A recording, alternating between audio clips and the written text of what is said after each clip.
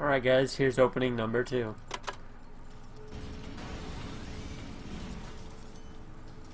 Not bad at all. See you guys in the next one.